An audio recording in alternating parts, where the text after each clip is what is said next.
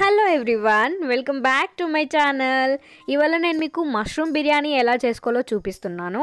So mushroom biryani చేసుకోవాలంటే first mushrooms బాగా కడుక్కోవాలన్నమాట. ఎందుకంటే అవి మట్టి మట్టి ఉంటాయి. సో ఎంత ఫ్రెష్ మష్రూమ్స్ అయినా మట్టి అయితే ఉంటుంది. సో ఫస్ట్ మనం వేడి నీళ్ళలో ఉప్పు పసుపు వేసి కాసేపు అలా ఉంచాలన్నమాట మష్రూమ్స్ అందులో. తర్వాత వాటిని రన్నింగ్ వాటర్లో కడిగేసుకోవాలి. మష్రూమ్స్ వల్ల చాలా హెల్త్ బెనిఫిట్స్ ఉంటాయండి. ప్రోటీన్ రిచ్ సోర్స్ అది. సో ట్రై చేయండి డెఫినెట్గా మష్రూమ్స్ని. చాలామంది మష్రూమ్స్ తినరు బట్ బాగుంటుంది అండ్ నెక్స్ట్ కడుక్కున్న తర్వాత మనం మ్యారినేట్ చేసుకోవాలి మష్రూమ్స్ని.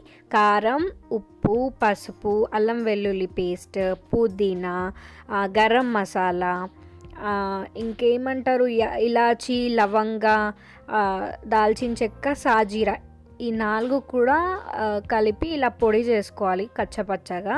ఇది వేసుకొని లెమన్ పిండుకోవాలి. సో ఇదంతా ఒకసారి కలిపేసుకోవాలన్నమాట మనము. ఇది ధనియా పౌడర్. అండ్ ఇవన్నీ వేసుకొని ఒకసారి కలిపేసుకొని నేను జీరా కూడా వేసాను. మీ ఇష్టం ఉంటే వేసుకోండి లేదంటే లేదు. అండ్ ఇదంతా ఒకసారి కలిపేసుకున్నాక కూడా మళ్ళీ కర్డ్ వేసుకొని కలుపుకోవాలి. బిర్యానీలో కొంచెం కర్డ్ ఎక్కువ వేసుకోవాలండి. ఎందుకంటే మనం బిర్యానీ దమ్ పెట్టినప్పుడు కింద ఏం లిక్విడ్ ఎక్కువ లేకపోతే మాడే ఛాన్సెస్ ఉంటాయి. సో కర్డ్ కొంచెం ఎక్కువనే వేసుకోవాలి. టేస్ట్ కూడా చాలా బాగుంటుంది. సో కర్డ్ వేసుకొని మంచిగా మ్యారినేట్ చేసుకొని సైడ్కి పెట్టుకోవాలి. అండ్ నెక్స్ట్ మనము ఫ్రైడ్ ఆనియన్స్ ప్రిపేర్ చేసుకోవాలన్నమాట. ఫ్రైడ్ ఆనియన్స్ ఏ బిర్యానీకైనా కావాల్సిందే.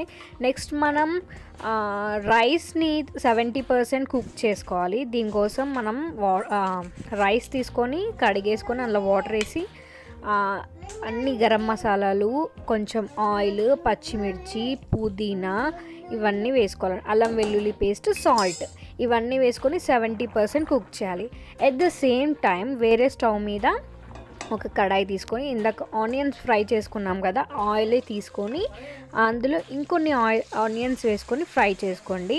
అండ్ నెక్స్ట్ మనం ఇంతకుముందు మ్యారినేట్ చేసిన మష్రూమ్ ఏదైతే ఉందో అదంతా వేసుకోండి. ఇదంతా కూడా మనము హై హై ఫ్లేమ్ మీదే చేయాలన్నమాట ఈ మ్యారినేషన్ చేసిన మష్రూమ్ని కుక్ చేయడము. అండ్ ఈలోపు మనకు రైస్ సెవెంటీ పర్సెంట్ కుక్ అయిపోతుంది. సో ఇలా ర్యాండమ్గా చేసుకోవడం వల్ల మనకు టైం సేవ్ అవుతుంది అనమాట సో మష్రూమ్స్ని నేను హై ఫ్లేమ్ మీద కుక్ చేస్తున్నాను. ఎంతసేపు కుక్ చేయాలంటే half of half quantity curd cook అయిపోవాలన్నమాట. మనకు ఆయిల్ అలా పైకి తేలుతూ ఉండాలి. అలా అని చెప్పేసి మొత్తం కర్డ్ని పోనివ్వద్దు. సో సెవెంటీ పర్సెంట్ కుక్ అవ్వడం అంటే బ్రేక్ అవు బ్రేక్ అవుతుందన్నమాట. రైస్ అది. అండ్ మష్రూమ్ చూసారా? కొంచెం లిక్విడ్ ఉంది అది కూడా పోవాలి. సో కర్డ్ ఆయిల్ అలా పైకి తేలుతుండాలి. అలా అని మొత్తంకి ఇంకిపోవద్దు. లిక్విడ్ అది గుర్తుపెట్టుకోండి. మష్రూమ్ బిర్యానీ అనే కాదు ఏ బిర్యానీకైనా మొత్తం అలా డ్రై అయిపోవద్దు. మాడిపోతుంది దమ్ పెట్టినప్పుడు. సో ఇప్పుడు మనము లేయరింగ్ ప్రాసెస్లో ఒక లేయర్ రైస్ వేసి ఒక లేయర్ ఆనియన్స్ వేస్తున్నాము. అండ్ ఇక్కడ మీకు కావాలనుకుంటే కొత్తిమీర కూడా వేసుకోవచ్చు. అండ్ మళ్ళీ ఇంకొక లేయర్ రైస్ వేసి ఆనియన్ అదే ఫ్రైడ్ ఆనియన్ కొత్తిమీర అండ్ నెయ్యి అండ్ బిర్యానీ మసాలా. ఇంకేంటి మీకు ఫుడ్ కలర్ అవసరం అయితే ఇక్కడ ఫుడ్ కలర్ కూడా కొంచెం యాడ్ చేసుకోవచ్చు పాలల్లో ఆర్ నీళ్ళల్లో కలిపి. ఇప్పుడు మనము దానిపైన ఏదైనా బరువు పెట్టుకొని ఫ్లేమ్ లోగా పెట్టుకోవాలి.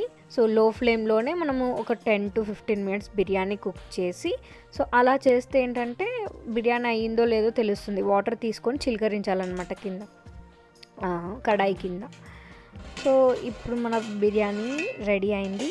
ఒక్కసారి కింద నుంచి మీది కలుపుకొని సర్వ్ చేసుకోవడమే.